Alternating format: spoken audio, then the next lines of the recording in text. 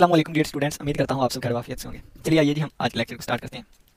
आज के लेक्चर में हम डिस्कस करेंगे fundamental principle of counting fundamental principle of counting ठीक है? काउंटिंग कहते हैं शुमार करना। तो अगर हमारे पास कोई भी एक काम होगा, एक कोई भी काम होगा, हम उस काम को कितने तरीकों से कर सकते हैं, उस टास्क को कितने तरीकों से परफॉर्म कर सकते हैं, उसको हम कहते हैं काउंट करना। ठीक है? इस काम को तीन तरीकों से कर सकते हैं, या चार तरीकों से, या पाँच तरीकों से, इन चीज़ों को काउंट करना काउंटिंग ठीक है? और प्रिंसिपल ऑफ़ काउंटिंग है, यानी कि इस चीज़ को काउंट करने का जो प्रिंसिपल होगा, उसको हम प्रिंसिपल ऑफ़ काउंटिंग कहेंगे। और ये इतना बेसिक है, इतना सादा है, इतना सिंपल है कि इसको हम फंडामेंटल प्रिंसिपल ऑफ़ काउंटिंग कहते हैं। फंडामेंटल कहते हैं सिंपल को, सादा को बेसिक बातों को, ठीक है? तो ये बेसिक प्रिंसिपल ऑफ़ काउंटिंग कह ले या फंडामेंटल प्रिंसिपल ऑफ़ काउंटिंग कह ले। अगर हमारे पास एक काम है जिसको हमने देखना है कि इसको कितने तरीकों से हम कर सकते हैं। तो इस पर मैं कुछ प्रिंसिपल अप्लाई करूँगा, कुछ रूल्स अप्लाई करूँगा, जिन्हें फंडामेंटल प्रिंसिपल ऑफ़ काउंटिंग कहते हैं। और वो रूल कौन से होंगे? तो सबसे पहला रूल आता है एडिशन प्रिंसिपल जिसे द सम रूल भी कहते हैं। ठीक है? सेकंड हमारे पास आएगा मल्टीप्लीकेशन प्रिंसिपल जिसे द प्रोडक्ट रूल कहते हैं। अब इस काम को कितने तरीकों से किया जा सकता है, ये देखने के लिए हम इस पे कुछ प्रिंसिपल्स लगाएँगे, कुछ रूल्स लगाएँगे, जिसे हम फंडामेंटल प्रिंसिपल ऑफ़ काउंटिंग कहते हैं, और वो रूल सम रूल भी हो सकता है प्रोडक्ट रूल भी, और वो प्रिंसिपल एडिशन प्रिंसिपल भी हो सकता है मल्टीप्लीकेशन प्रिंसिपल भी, ठीक है? अब ये फंडामेंटल प्रिंसिपल ऑफ़ काउंटिंग यानी कि बेसिक प्रिंसिपल ऑफ़ काउंटिंग ये इतना सिंपल इतना बेसिक इतना सादा है कि इसका कोई प्रूफ ही नहीं है। एक छोटी सी एग्जांपल देता हूँ, मैं आपको कहता हूँ कि बाहर बारिश हो रही है, देखो तो आप देख के आए, आपने हाँ कह दिया हो रही है, अगर नहीं हो रही तो आपने कह दिया नहीं हो रही। अब ये चीज़ क्या है? ये एक प्रिंसिपल है कि मैंने आपको कहा, जाओ बाहर देख के आए। यानी कि अगर कोई भी चीज़ है तो उसके लिए मैं आपको कह देता हूँ, देख के आए, ये चीज़ है कि नहीं। तो ये इतनी सादा बात है, इतनी सिंपल बात है, इसको हम कैसे प्रूव कर सकते हैं?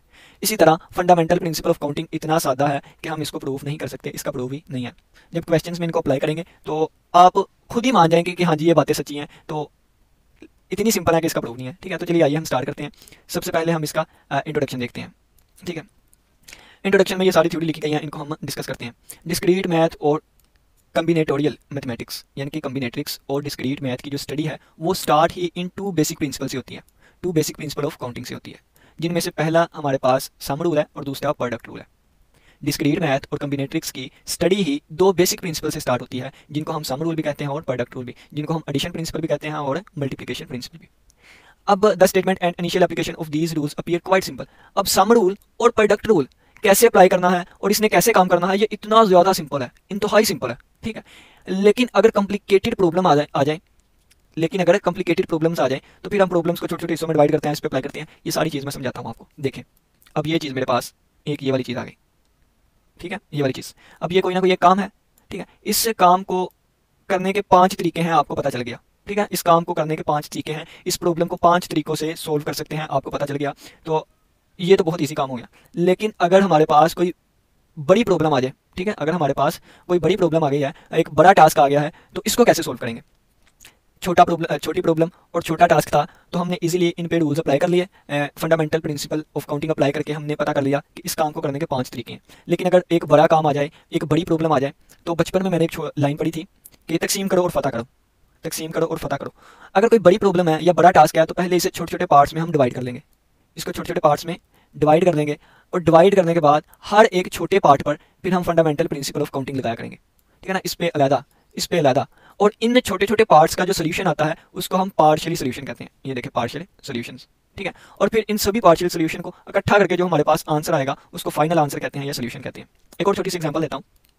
ये मेरे पास एक बड़ा प्रॉब्लम था। ठीक है?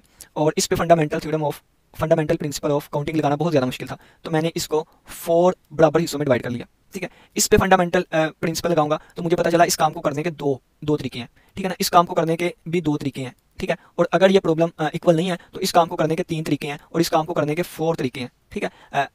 चारों पे मैंने प्रिंसिपल लगाया और मुझे पता चला इसको करने के दो हैं, इसको दो, इसको करने के तीन हैं और इसको करने के चार हैं। तो ये मेरे पास पार्शियली सोल्यूशन आए, है ना? तो इस तरीके से हम इसको जांचते हैं या कैलकुलेशन वगैरह करते हैं, ठीक है? और ये बहुत ही एक अच्छा वे है। ठीक है? और हमें जो है इस एबिलिटी को, यानी कि बड़े बड़े मसले को डिकम्पोज करने के लिए छोटी छोटी चीज़ों में डिवाइड करने वाली एबिलिटी पे काम करना चाहिए, इसको डेवलप करना चाहिए, ठीक है ना? तो आगे हम यही अप्रोच को यूज़ करेंगे, ठीक है? चलिए आइए।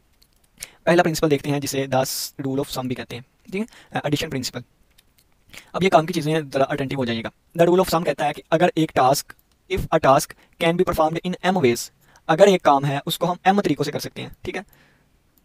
ये मेरे पास एक काम आ गया। ठीक है ना? टास्क नंबर वन कह देते हैं। और इस काम को हम एम तरीकों से कर सकते हैं। इस काम को एम तरीकों से किया जा सकता है। वाइल जबकि अ सेकंड टास्क एक दूसरा काम भी आ गया, जिसको हम एन वेज से परफॉर्म कर सकते हैं। तो ये आ गया हमारे पास दूसरा काम, और इसको हम एन वेज से परफॉर्म कर सकते हैं। एन वेज से परफॉर्म कर सकते हैं। ठीक है? यानी कि ये काम इतना सिंपल था कि हमें डायरेक्टली पता चल गया कि इसको एम तरीकों से कर सकते हैं। ये काम इतना सिंपल था, हमें डायरेक्टली पता चल गया कि इस काम को एन तरीकों से किया जा सकता है। अब अगर मैंने कहना हो कि इस पूरे काम को मैंने परफॉर्म करना है, इस पूरे काम को, यानी कि एक ऐसा काम जिसमें मजीद दो काम हो, उनको परफॉर्म करना है तो उस काम को करने के कितने तरीके हैं? ठीक है? यहाँ पे एक कंडीशन आ गई the two task can not be perform simultaneously यानी कि दो कामों को हम इकट्ठा ही परफॉर्म नहीं कर सकते। या ये काम करेंगे, या ये काम करेंगे। अगर मैं काम नंबर वन को परफॉर्म कर दूँ तो ये डब्बा जो है, ये कंप्लीट हो जाएगा। ठीक है? या मैं टास्क नंबर टू को परफॉर्म कर दूँ तो ये डब्बा जो है, ये फिर भी कंप्लीट हो जाएगा। तो इस पूरे डब्बे को करने के कितने तरीके हैं? ठीक है? काम नंबर वन को परफॉर्म करने के एम एम वेज हैं, काम नंबर दो को करने के एन वेज हैं, और इन दोनों में से अगर एक भी हम काम करेंगे तो ये पूरा डब्बा जो है, ये पूरा डब्बा, ये कंप्लीट हो जाएगा। तो इस पूरे डब्बे को करने के कितने वेज हैं, ये हमने फाइंड करना है, ठीक है? तो सम रूल हमें कहता है कि हम इन दोनों में से किसी एक काम को परफॉर्म एम प्लस वन तरीकों से कर सकते हैं, ठीक है? तो जो तरीके हमारे पास आएँगे, इस पूरे डब्बे को करने के लिए वो एम प्लस एन है एम प्लस एन है, ठीक है? तो ये चीज़ें हम एक एग्ज़ाम्पल से इसके, इससे पहले एक और चीज़ बता दूँ कि उन्होंने कहा है कि दोनों काम एक ही वक्त में परफॉर्म नहीं किए जा सकते। Can not be perform simultaneously तो या ये काम करेंगे या ये काम करेंगे। तो या यानी कि और यहाँ पे और आएगा वर्ड यहाँ पे आर वर्ड यूज़ आएगा ठीक है? अगर वो कहता कि ये भी काम करना है और ये भी काम करना है तो और के लिए फिर हम यहाँ एंड का वर्ड यूज़ करते, ठीक है? लेकिन उन्होंने कहा है, या ये काम करना है, या ये काम करना है, एक ही वक्त में दोनों काम नहीं करने तो या के लिए हम और का वर्ड यूज़ करेंगे और और आपको पता है प्लस के तौर पर यूज़ होता है, ठीक है? तो ये हमने प्लस लगा दिया। एक छोटी सी एग्ज़ाम्पल है, उसको समझते हैं। मैंने एक बच्चे को कहा कि जाइए आप लाइब्रेरी से मैथ की बुक लेके आइए। किसकी मैथ की बुक लेके आइए? लाइब्रेरी से मैथ की बुक लेके आइए। अब वो लाइब्रेरी में गया तो वहाँ पे फोर्टी बुक्स पड़ी हुई थी। कितनी? फोर्टी, यानी कि चालीस किताबें पड़ी हुई थी। अब मैंने उसे कहा है, कोई एक किताब ले आओ। तो वो मैथ की बुक जो है, वो कितने तरीकों से ले सकता है? वो या तो एक बुक को उठाएगा, काम फिर भी पूरा हो गया। वो या दूसरी बुक को उठाएगा, काम फिर भी पूरा हो गया। यानी कि वो चालीस में से किसी एक बुक को भी उठा सकता है। ठीक है? यानी कि, और अगर किसी एक बुक को भी उठा लिया तो काम मुकम्मल हो जाएगा। यानी कि वो मैथ की बुक चालीस तरीकों से लेके आ सकता है। यानी कि कोई भी एक बुक को सिलेक्ट कर सकता है। ठीक है? वो किसी भी एक बुक को सिलेक्ट कर सकता है। अगर मैं उसे दोबारा भेजूँ और मैं कहूँ कि आप साइंस की बुक लेके आएँ साइंस की। तो लाइब्रेरी में अगर साइंस की पचास बुक्स पढ़ी हों, कितनी? पचास बुक्स पढ़ी हों।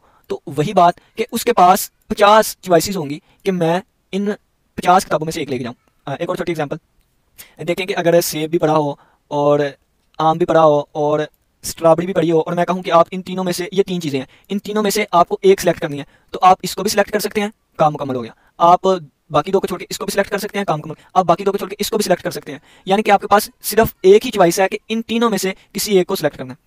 एक चॉइस इस तरह कि तीनों में से एक को सिलेक्ट करना है और तीन चॉइसेस ये हैं कि आप इसको भी सिलेक्ट कर सकते हैं, आप इसको भी सिलेक्ट कर सकते हैं, आप इसको भी सिलेक्ट कर सकते हैं। यानी कि एक ही काम को तीन तरीकों से कर सकते हैं, क्योंकि आपने एक चीज़ सिलेक्ट करनी है। इसी तरह आप मैथ की बुक को चालीस चालीस तरीकों से सिलेक्ट कर सकते हैं। आपके पास चालीस चॉइसें हैं मैथ की बुक को सिलेक्ट करने के। इसी तरह आपके पास पचास चॉइसेस हैं साइंस की बुक को सिलेक्ट करने के लिए।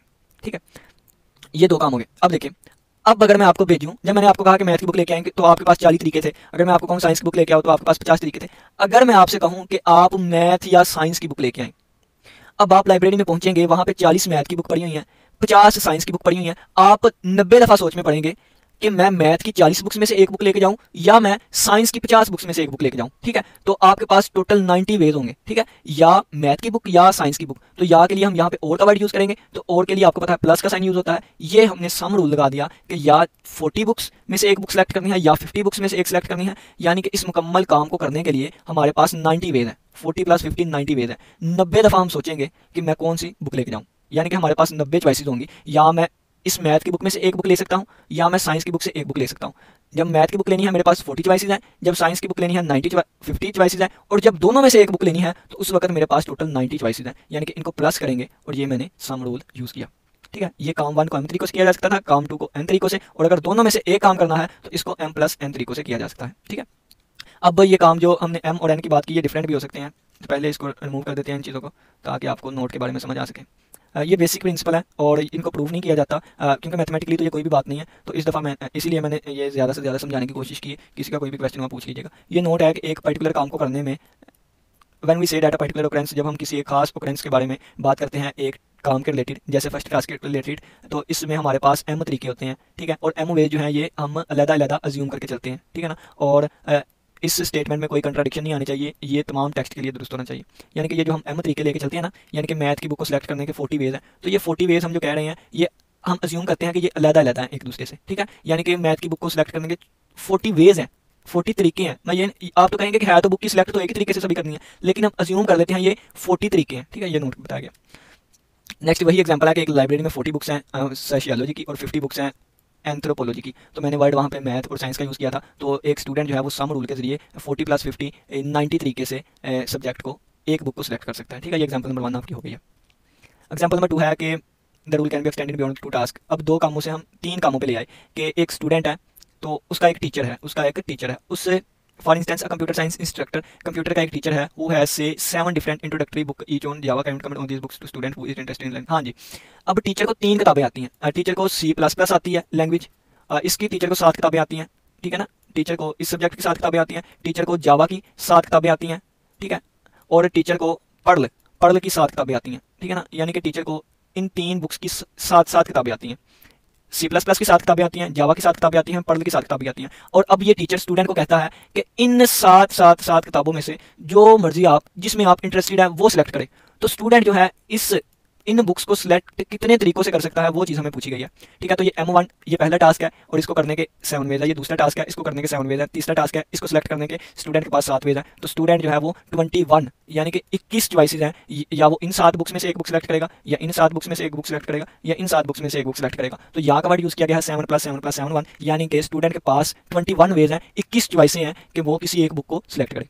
ठीक हो गया तो यही चीज़ उन्होंने बताई है। अब नेक्स्ट एग्ज़ाम्पल पर चलते हैं। नेक्स्ट एग्ज़ाम्पल कहते हैं कि वो पीछे वाली ही एग्ज़ाम्पल है लेकिन अब जो टीचर है वो दो हो गए हैं। तो कंप्यूटर साइंस इंस्ट्रक्टर एग्ज़ाम्पल है टू कलीग्स उसके बाद दो कलीग्स है ठीक है? अब दो कलीग्स हैं। टीचर के पास दो कलीग्स हैं। एक कलीग आ गया और दूसरा कलीग आ गया। One of this colleague has three text book इसके पास थ्री टेक्स्ट बुक है ठीक है? आ, किस पे? एनालिसिस ऑफ़ एल्गोरिथम पे। और दूसरे के पास फाइव बुक्स हैं। दूसरे के पास फाइव बुक्स हैं। और if n denote the maximum number of different books और एन डिनोट करता है मैक्सिमम बुक्स को। ठीक है of different books on this topic that can this topic instructor can borrow from them then are अब देखिए। उन्होंने कहा कि एक कुलीग के पास थ्री बुक्स हैं एनालिसिस ऑफ़ एल्गोरिथम के ऊपर। ठीक है, ये मैंने लिख लिया। अब कहा गया है द अदर दूसरे के पास पाँच बुक्स हैं।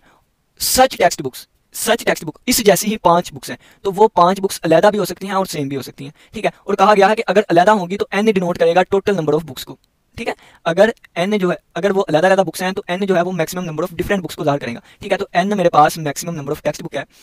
अब देखें, अगर फ़र्ज़ किया है कि इस बंदे के पास वही तीन बुक्स हैं जो यहाँ पे तीन है तो फिर वो उसके पास चॉइस कितनी होगी? यानी कि यही तीन जो है इसमें आ जाएँगे तो टोटल वो पाँच बुक्स को सिलेक्ट कर सकता है। टोटल वो पाँच बुक्स को सिलेक्ट कर सकता है। ठीक है?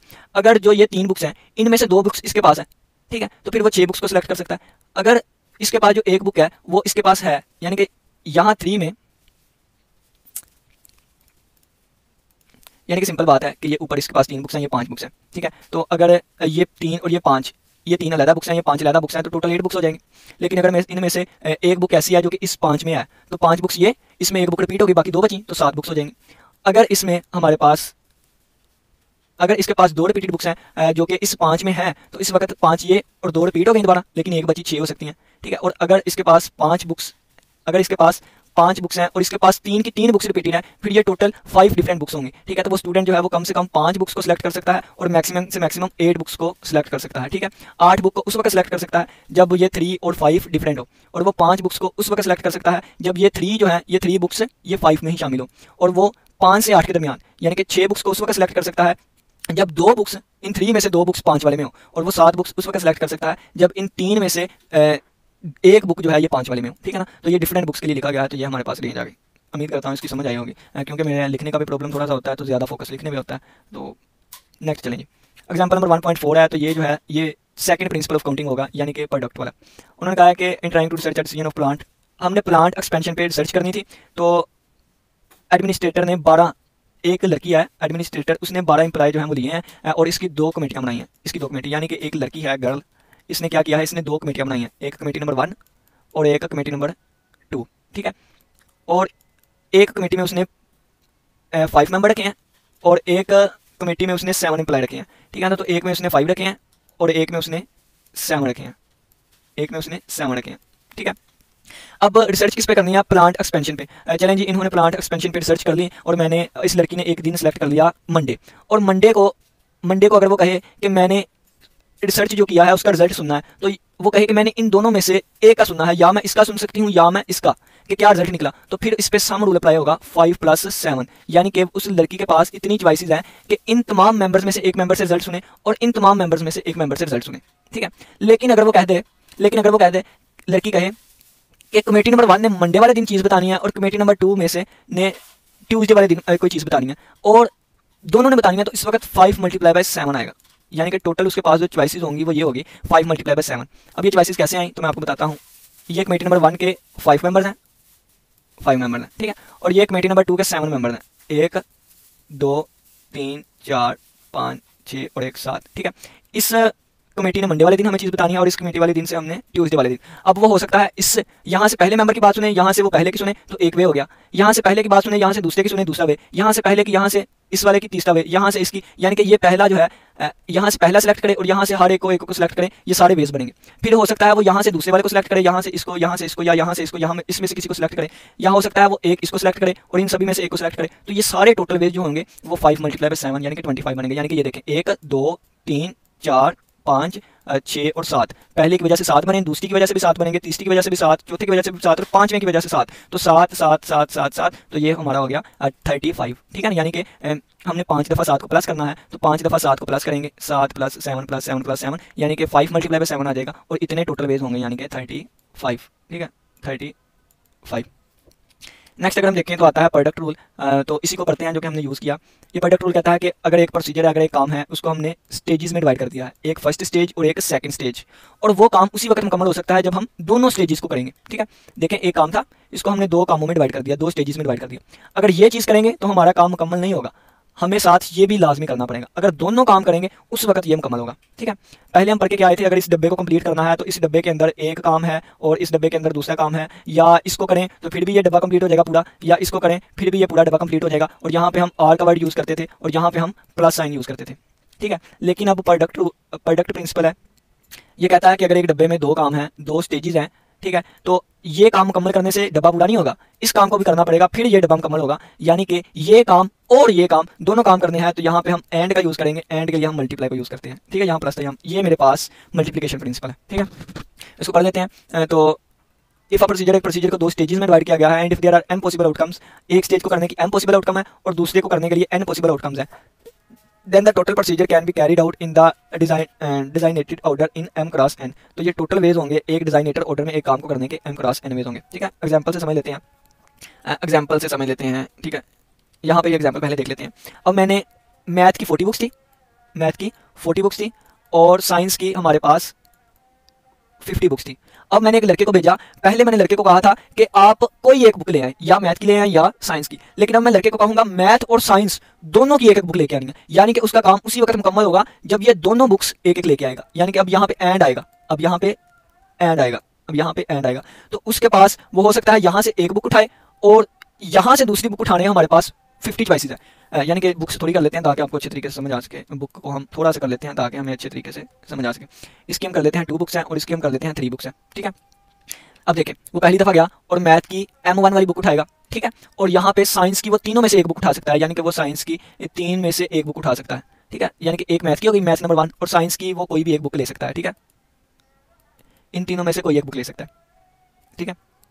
अब या फिर वो क्या कर सकता है? उसने एम टू की बुक उठाई एम टू की, और एम टू के साथ वो साइंस वन की बुक उठा ले, या एम टू के साथ वो साइंस टू की बुक उठा ले, वो हो सकता है एम एम टू के साथ साइंस थ्री की बुक उठा ले, ठीक है ना? यानी कि यही चीज़ है। तो एक ये वे, दूसरा ये, तीसरा ये चौथा वे ये, पांचवा ये, छठा ये तो इस काम को मुकम्मल करने के two multiply by three ways हैं, यानी कि टोटल सिक्स वेज होंगे। लगी बात की समझ, ठीक है? लेकिन अगर मैं कहता कोई एक बुक लेके आनी है तो वो टू प्लस थ्री होता है, यानी कि फाइव होता है लेकिन अगर दोनों बुक लेके आनी है तो वो सिक्स होगा, ठीक है? नेक्स्ट चलिए जी आगे। तो ये हमारे पास एग्ज़ाम्पल आ example number five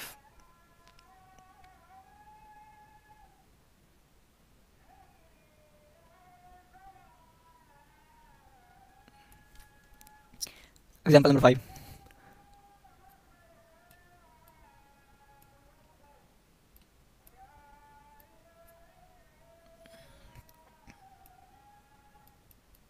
देखें जी कि एक ड्रामा क्लब है सेंट्रल यूनिवर्सिटी में ठीक है तो वहाँ पे छः आदमी और आठ वुमेन फार लीडिंग मेल और फीमेल छः आदमी और six man and eight women है, यानी कि छः जो है वो वुमेन है और आठ वुमेन है और छः मैन है हमारे पास। सिक्स जो है, ये मैन है। ठीक है? सिक्स मैन है और आठ वुमेन है, ठीक है? और उन्होंने कहा है कि वहाँ पे एक ड्रामा है तो ड्रामे के लिए एक पेयर चाहिए, एक कपल चाहिए। तो कपल चाहिए जिसमें एक हमारे पास आदमी हो और एक वुमेन हो, ठीक है? तो वो कपल को कितने तरीकों से सिलेक्ट कर सकता है, ठीक है? तो यहाँ से देखें, उसने पहली वुमेन ली पहला मैन लिया और आगे इन छः में से किसी एक को, किसी एक औरत को ले सकता है, ठीक है? यानी कि आगे से उसको सिलेक्ट करने के छः वेज हैं। अब आठ वेज हैं, आठ वेज हैं, ठीक है? अब वो दूसरा मैन ले और इसके साथ कपल बनाने के लिए आठ, वुमेन एक, दो, तीन, चार, पाँच छः सात, आठ।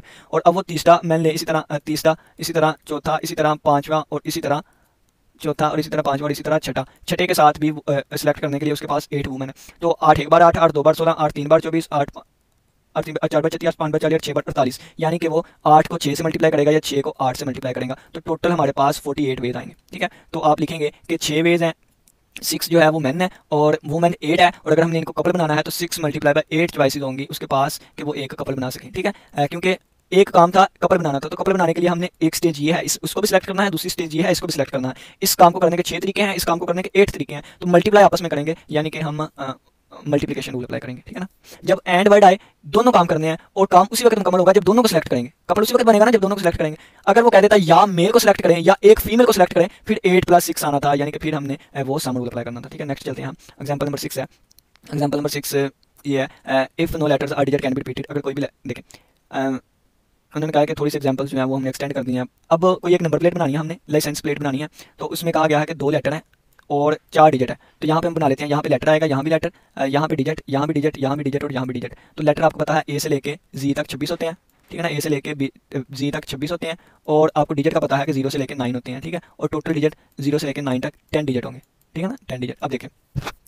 उन्होंने कहा no letter or digit can be repeated हमने कोई भी लेटर या डिजिट रिपीट नहीं करना। तो यहाँ पे हम ट्वेंटी सिक्स लेटर रख सकते हैं पहली प्लेस पे, ठीक है? यहाँ पे ट्वेंटी सिक्स रख सकते हैं ट्वेंटी सिक्स और यहाँ पे फिर रिपीट नहीं करना हमने किसी को भी, ठीक है? तो जो लेटर यहाँ पे आ गया, उसके अलावा बाकी यहाँ पे पच्चीस बचेंगे, ठीक है? तो ये हमने पच्चीस लिख दिया। और फिर next no digit can be repeated digit को रिपीट नहीं हमने करना। तो पहले प्लेस पे रखने के लिए हमारे पास टेन डिजिट्स की जगह होगी। अब जो यहाँ पे रख दिया, उसे छोड़ के बाकी नौ डिजिट यहाँ रखने के लिए होंगे, आठ डिजिट यहाँ और सात डिजिट यहाँ। तो इन सभी को मल्टीप्लाई करेंगे और ये हमारे पास आंसर आ जाएगा। अगर वो कहता कि इन सभी डिजिट में से, यानी कि अगर हमने एक नंबर प्लेट बनानी है तो इन सभी डिजिट में से यहाँ पे कोई एक रीजन रख दिया जाए, कोई एक चीज़ रख दी जाए, या ये, यानी कि इनमें से कोई एक भी काम किया जाए तो हमारा लाइसेंस भी नंबर प्लेट बन जाएगी लाइसेंस प्लेट बन जाएगी तो फिर हम यहाँ पे प्लस का साइन यूज़ करते हैं। लेकिन उसने कहा है कि लाइसेंस प्लेट उसी वक्त बनेगी जब इन तमाम चीज़ों का यूज़ किया जाए तो यहाँ पे छब्बीस चीज़ें यूज़ की जा सकती है, यहाँ पे पच्चीस, यहाँ पे ये वाली चीज़ें तो मल्टीप्लाई करके जो आंसर आएगा, वो हमारा ये वाला होगा। ठीक है। अगर वो कहता, इन छब्बीस लेटर में से कोई एक लेटर सेलेक्ट करें तो हमारी प्लेट बन गई। इन पच्चीस में से कोई एक सेलेक्ट करें प्लेट बन गई। दस में से कोई एक चीज़ सेलेक्ट करें तो उस वक्त हम सम का यूज़ करते हैं ठीक है? लेकिन सभी को लेकर चलना है तो इस वजह से हम यहाँ पे प्रोडक्ट रूल अप्लाई करेंगे। अब विद रेपिटेशन आप रिपीट भी कर सकते हैं तो पहले पे छब्बीस रखें। तो जो छब्बीस हमने पहले पे रखे, अब दोबारा वही लेटर हम यहाँ भी रख सकते हैं छब्बीस। टेन डिजिट है। जो डिजिट यहाँ पे रखा वो दोबारा यहाँ भी रख सकते हैं। अभी ten digit ten digit ten digit सभी को मल्टीप्लाई करेंगे, जो आंसर आएगा वो ये अब उन्होंने कहा है कि if the repetition allowed repetition allowed है in part B part B को हम लेके चले हैं of plate having only vowel तो वावल हमारे पास सिर्फ़ पाँच ही होते हैं uh, तो यहाँ पे आ जाएगा हमारे पास पाँच लेटर इसकी जगह भी पाँच लेटर आ जाएँगे ठीक है रिपीटेशन अलाउड है। एंड इवन डिजिट और इवन डिजिट ज़ीरो ज़ीरो भी इवन डिजिट है two B four B six बी और एट बी ठीक है? तो यहाँ टोटल फाइव डिजिट हुए, यहाँ भी फाइव आएगा, यहाँ भी फाइव डिजिट आ सकते हैं, यहाँ भी फाइव यहाँ भी फाइव क्योंकि रिपीटेशन अलाउड है। तो इन सभी को, यानी कि पाँच को हम कितनी दफ़ा मल्टीप्लाई करेंगे? पाँच पाँच पाँच, यानी छः दफ़ा तो फाइव की पावर सिक्स इसका आंसर आएगा। ठीक है? कैलकुलेटर से सॉल्व कर लीजिएगा। अब नेक्स्ट एग्ज़ाम्पल नंबर सेवन है। एग्ज़ाम्पल नंबर एट भी है। जल्दी हम कॉल करने की कोशिश करते हैं। एग्ज़ाम्पल नंबर सेवन में कहा गया है कि एक कंप्यूटर जो है ना, इसमें एक सेल होता है। इस सेल में हम आठ बिटों को स्टोर करवा सकते हैं। एक सेल में आठ बिट को स्टोर करवा सकते हैं। और अगर हमने हमारे पास, देखिए जिसको पढ़ते हैं order to store data computer में डाटा को स्टोर करवाने के लिए एक बिट होता है जो कि ज़ीरो या वन होता है, ठीक है? और एक सेल जो होता है, उसको हम बाइट्स में स्टोर करते हैं, ठीक है ना? एक बाइट देखिए जी के एक, दो, तीन, चार, पाँच, छः, सात, आठ, ये मैंने आठ खाने बना लिए। इस आठ खानों से मिलके एक एक सेल बनेगा। और यहाँ भी एक बाइट है, यहाँ भी एक बाइट यहाँ भी एक बाइट यहाँ भी एक बाइट यहाँ भी इस सोन बाइट और एक बाइट में आठ ही बिट होते हैं, ठीक है ना? एक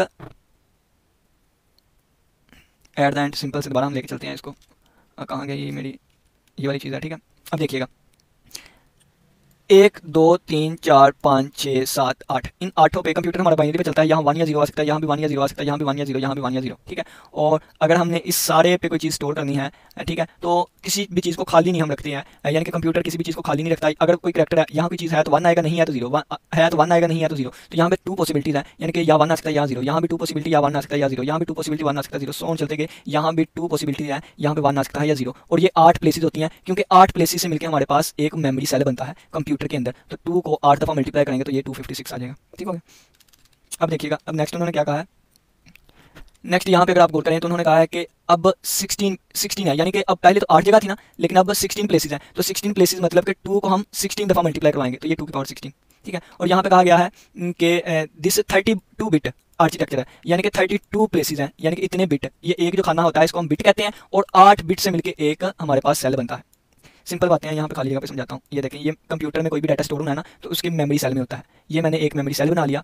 अब ये मेमोरी सेल में एक, दो दो, तीन, चार, पाँच, छः, सात, आठ आ, ये आठ बिट का एक मेमोरी सेल है यानी कि ये एक बाइट है एक बाइट है। ये चौसठ का भी हो सकता है ये बत्तीस का भी हो सकता है। अगर बत्तीस की बात करनी है तो इसमें बत्तीस होंगे एक दो तीन चार ये बत्तीस बिट्स होंगे ठीक है? और अगर मैंने बत्तीस बिट्स वाले पे डाटा स्टोर करवाना है या यहाँ पे वन आ सकता है या ज़ीरो यानी कि टू पॉसिबिलिटीज है यहाँ भी या वन आ सकता है या ज़ीरो टू पॉसिबिलिटी यहाँ भी या वन आ सकता है टू टू पॉसिबिलिटीज वन या ज़ीरो टू पॉसिबिलिटीज तो इनके लिए बताया गया है ये देखें कि अगर बत्तीस बिट्स का है तो यहाँ पे ये two power eight two power eight two power eight और टू पावर एट यानी कि टू को बत्तीस दफ़ा किया गया है मल्टीप्लाई तो ये चीज़ आएगी। और अगर चौसठ बिट का है तो दो को चौसठ दफ़ा मल्टीप्लाई करके ये चीज़ आएगी, ठीक है ना? तो बस यही बात बताएगी अब यहाँ पे एग्ज़ाम्पल नंबर एट को देखते हैं। ठीक है example number eight last example होगी, फिर इसके साथ इजाज़त।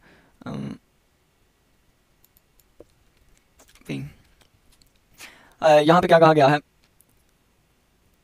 एक सिंपल सी बात है, मैं आपको बताता हूँ। इस एग्ज़ाम्पल नंबर एट में सम और प्रोडक्ट रूल दोनों को यूज़ किया गया है, ठीक है? एक छोटी सी एग्ज़ाम्पल आपको बता देता हूँ।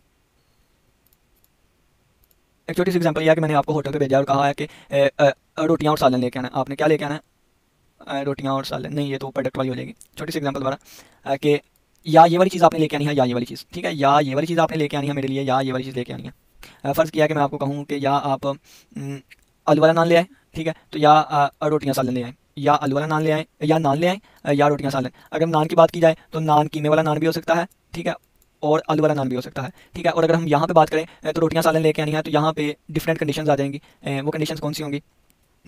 कि वो कंडीशंस ये होंगी कि आप रोटियाँ लेके आएँ, यानी कि सालन के साथ रोटियाँ लेके आएँ या यहाँ पर डिफरेंट कंडीशन आ गई हमारे पास।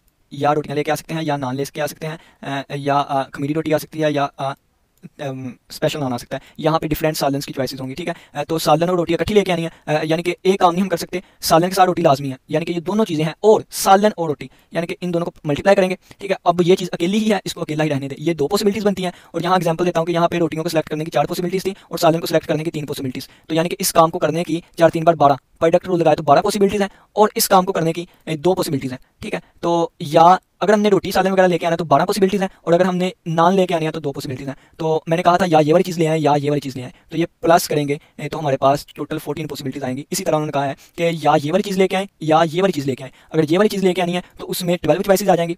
यानी कि इस छः का कॉम्बिनेशन टू के साथ आएगा। यानी कि इन छः चीज़ों में से एक चीज़ दो दफ़ा है, एक चीज़ दो दफ़ा यानी कि ये एक अलहदा काम है, जिसको हमने प्रोडक्ट रूल से किया है, ये एक अलहदा काम है, जिसको प्रोडक्ट रूल से किया है। अब इन दो कामों में से एक काम को सिलेक्ट करना है तो इसके लिए हम सम रूल अप्लाई करके ये वाली चीज़ आ जाएगी। उम्मीद करता हूँ समझ आई होगी। इसी के साथ इजाज़त दीजिए। अल्लाह हाफिज़, अल्लाह के बाद और ऑलवेज स्टे हैप्पी थैंक्स मुझे नहीं लगता इतना अच्छा या खास बनी है चीज़ तो इसके लिए वाइट बोर्ड वाली वीडियो करने की कोशिश करूँगा, अगर हो सकी तो ठीक है?